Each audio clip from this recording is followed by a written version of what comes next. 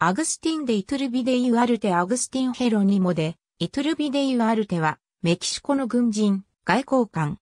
短命に終わったメキシコ第一帝政の皇帝アグスティン・デ・イトゥルビデの長男で、1822年から1823年までメキシコ皇太子の地位にあった。将校アグスティン・デ・イトゥルビデと妻のマリアーナ・ウアルテの間の長男。両親はバスク人貴族の流れを組む地主階層であり、アペオとグアラチャに二つの足エンダを所有し、キリオ近郊にも土地を持っていた。メキシコ独立戦争でスペイン軍の撃退に功のあった父が1822年5月19日にメキシコ皇帝に選出されたことを聞かされたアグスティンは衝撃を受けてめまいを起こしたという。同年6月月22日、アグスティンはメキシコ憲法会議の布告により、9人の帝米と共に、メキシコ巫女、王女の身分及び、殿下の継承を得ると同時に、皇帝の長子として、メキシコ皇太子の地位を授けられた。皇帝一族は、田舎の足縁だから、父が、摂政会議議長になって、以降使用していた、メキシコシティのイトルビで宮殿に移った。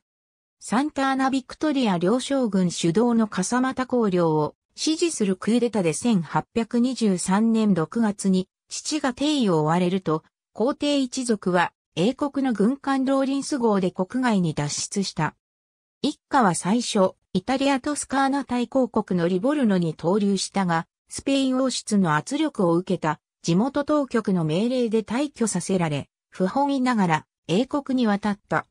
アグスティンはノースヨークシャーのカトリック系寄宿学校アンプルフォース、カレッジで教育を受け、父は故国の保守派に帰国を壊れ、学校に通う長男や多くの子を残して、妻と二人の子を連れて1824年6月、メキシコに舞い戻ったが、すぐ当局に囚われ処刑された。アグスティンはわずか17歳で、イトゥルビデ家の課長となった。アンプルホースカレッジで学業を収めると、アグスティンは南米ヌエバグラナダ共和国に向かい、そこで、ベネズエラ独立の英雄シモン・ボリバルと親しくなり、ボリバルの副官となった。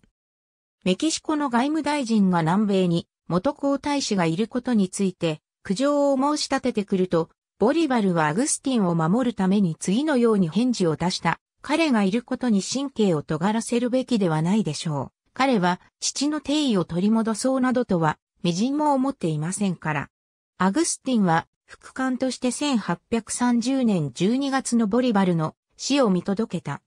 公式記録には次のようにある、息を引き取る前夜、ボリバルは友人で副官のイトゥルビデに支えられて階段を登り、寝室へ入った。1831年、メキシコ政府は旧皇帝一族に対する追放令を撤回し、アグスティンは故国に戻ることができた。アグスティンはメキシコで外交官として採用され、最初はアメリカ合衆国のメキシコ大使館に1833年3月19日まで勤め、ついで英国の大使館に転じて1835年まで勤めた。報給は年額わずか3500ペソに過ぎなかったが、父から相続した巨額の遺産のおかげで生活には不自由しなかった。勃発した米北戦争に従軍し、1847年8月のコントレラスの戦いでは、セラヤ連隊を率いて戦った。また、1861年に創設された強行領を守護する部隊強行庁、ズアーブ兵に志願兵として加わっている。1864年メキシコ第二帝政が始まると、アグスティンは自身の帝位請求を取り下げて、新皇帝マクシミリアンに忠誠を誓った。アグスティンは1866年に死去し、米国フィラデルフィアの洗礼者、聖ヨハネカトリック教会堂内の母の墓の隣に埋葬された。マクシミリアン帝の養子となった甥のアグスティン・デ・イトゥルビデ・イ・グリーンがイトゥルビデ家の家長となった。アグスティンは生涯独身を通したが、ペルーアレキパ出身のニコラサ・フェルナンデス・デ・ピエロラとの間に非嫡出子、ヘスーサ・デ・イトゥルビデを儲けた。